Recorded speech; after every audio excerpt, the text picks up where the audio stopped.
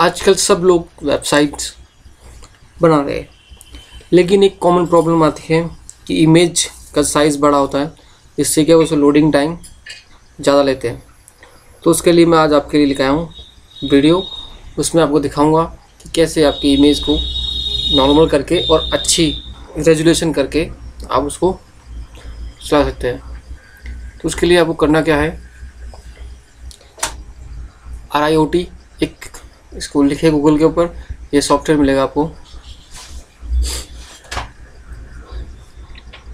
इसको आप डाउनलोड कर लें।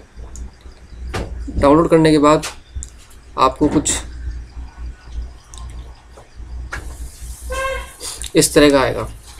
तो यहाँ पे आप अपनी इमेज लेकर आ सकते हैं ओपन जैसे कि ये इमेज मैं लेकर आया था। ये इमेज का साइज़ है तेईस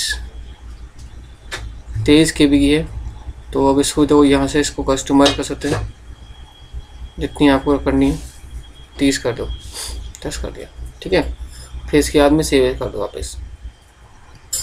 सर ना आप कुछ और कर दो सो ओके कर देते हैं। तो आप देखेंगे इमेज में क्या डिफरेंस आया।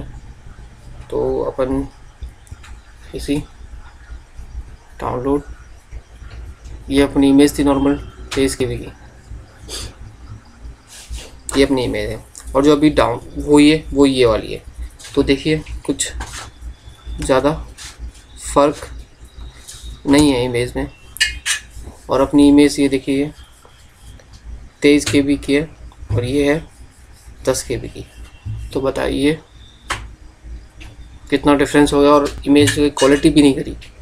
तो आप ऐसे इमेज को कन्वर्ट करके अपनी वेबसाइट पोस्ट पे लगा सकते हैं। धन्यवाद।